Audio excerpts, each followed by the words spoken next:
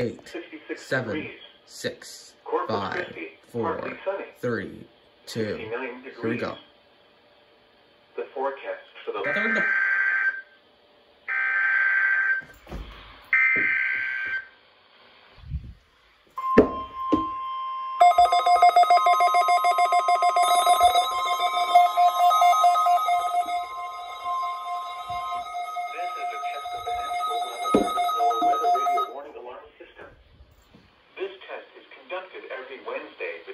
11 a.m. is noon local time, unless there is severe weather in the area, in which case the test is postponed until Thursday.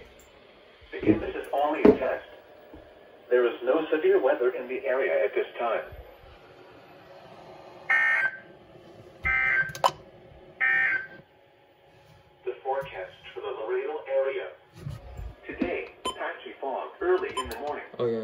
Mostly cloudy with a 20% chance of showers. I seriously thought they were gonna pull a afternoon, CRS. Then mostly sunny late in the afternoon. Highs in the lower 70s, upper 30s. Light east winds increasing to around 10 miles an hour after midnight. This is a test of the National Weather Service NOAA Weather Radio Warning Alarm System. This test is conducted every Wednesday between 11 a.m. and noon local time, unless there is severe weather in the area, in which case the test is postponed until Thursday. Again, this is only a test. There is no severe weather in the area at this time.